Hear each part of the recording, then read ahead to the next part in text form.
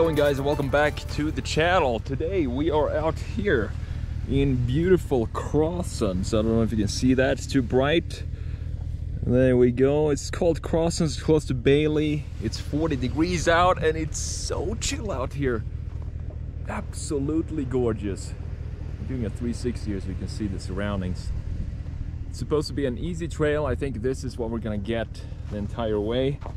And it's not a really uh, long trail. It's 1.4 miles, which is pretty decent. I mean, not bad, just to get out and uh, explore and have some fun.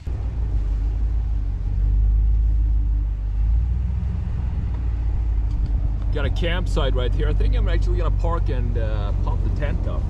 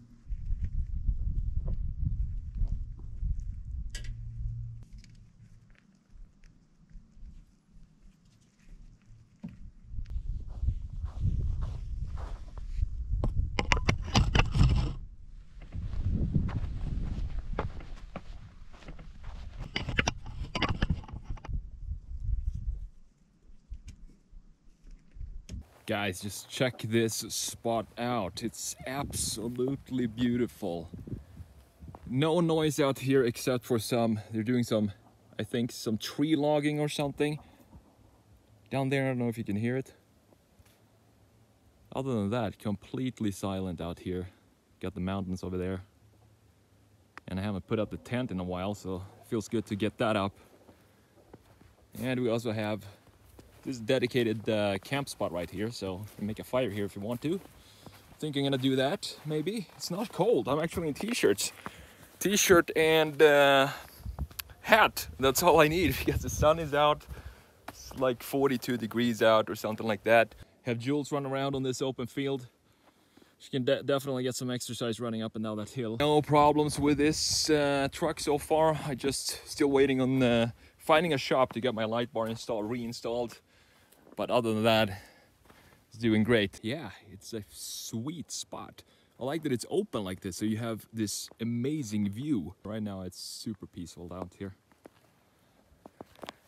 Beautiful!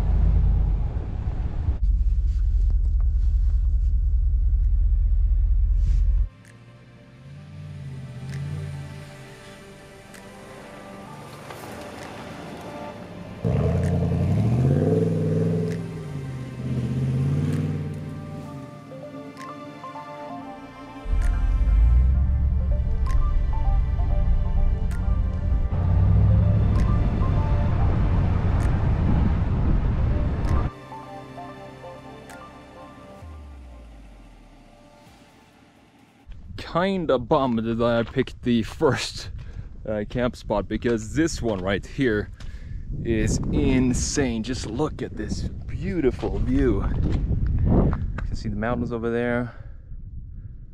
Maybe see some bears every now and then. And it's already set up. So we have a grill over there. This is definitely the spot that I'm coming back to next time I'm coming up here. And it's only an hour from home, which is just nuts. Anyway, thanks for watching and we'll see you in the next video.